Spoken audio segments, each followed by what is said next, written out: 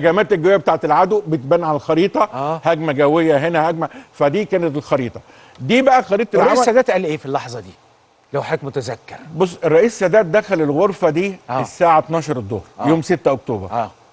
دخل الغرفة الساعة 12 إحنا كنا 10 رمضان. آه.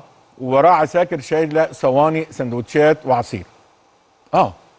وقال لنا يا ولادي المفتي إدى افتى إحنا في حرب جهاد لتحرير الأرض والعرض. زي ما انت عارف السادات له آه. كده ألفاظ. آه. بلغوا الجبهة بالكامل الناس مسموح لها تفطر لأن إحنا بنحارب للأرض والعرض. العساكر بقى نزلوا وودوا نعم. السندوتشات خدنا السندوتشات نعم. حطيناها نعم. تحت. محدش لا كل ولا فطر. نعم. حتى اولادنا في الجبهة سألناهم قال لك فين ده؟ نعم. آه آه وجي قعد على الخريطة وبدأ بقى الحرب تبدأ. نعم. الساعة قلت لك اتنين قامت الضربة الجوية. أيوه.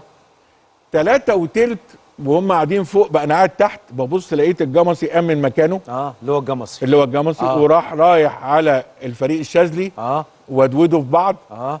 الاثنين قاموا. آه. راحوا لأحمد إسماعيل. آه. ودودوا في بعض. تسلسل. تسلسل هو التسلسل بتاعنا آه، كده. هو كده قال لهم ارجعوا. آه. وراح يعني واخد رئيس العمليات ما يروحش الوزير لا لا لا. يروح لرئيس الأركان. ده التسلسل بتاعنا بتاع الجيش. آه. آه طبعا. ما تخطاش. لا لا لا لا لا. حتى في حرب كله ده. كله من كله. لسه هحكي لك أما كنا بناخد الموقف هنا على الخريطة بنعمل إيه. آه.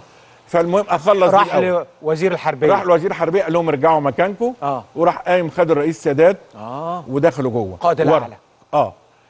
أتاري كان بيبلغوا استشهاد أخوه عاطف السادات في الضربة الجوية الأولى. آه عاطف السادات في الضربة الجوية الأولى كان بيضرب مطار الميليز للعدو الإسرائيلي.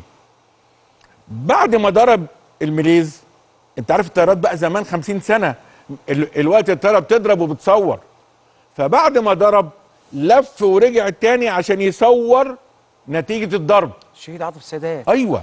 ضرب نجحت الضربة عايز يصورها. عايز يصور. رجع تاني لف آه. عشان يصورها. وهو بيلف اتضرب. الضرب ف بلغوا رئيس السادات باستشهاد آه آه. عاطف. ده طلع طلع الرئيس سادات من الغرفة وراح متكلم في الميكروفون لكل الناس. انت عارف دي غرفة العمليات الرئيسية. آه. آه. حوالينا بقى بره في المركز غرف بقى المدفعية والدفاع الجوي والاستطلاع والمخابرات الأسلحة. الأسلحة. آه. وراح متكلم في الميكروفون يا ولادي أنا اتبلغت باستشهاد أخويا. وده كان أقرب الناس ليا واقرب من ولادي عاطف السادات. لكن أنا فخور إن أول شهيد في أكتوبر يكون أخويا عاطف السادات. عاطف السادات. طيب.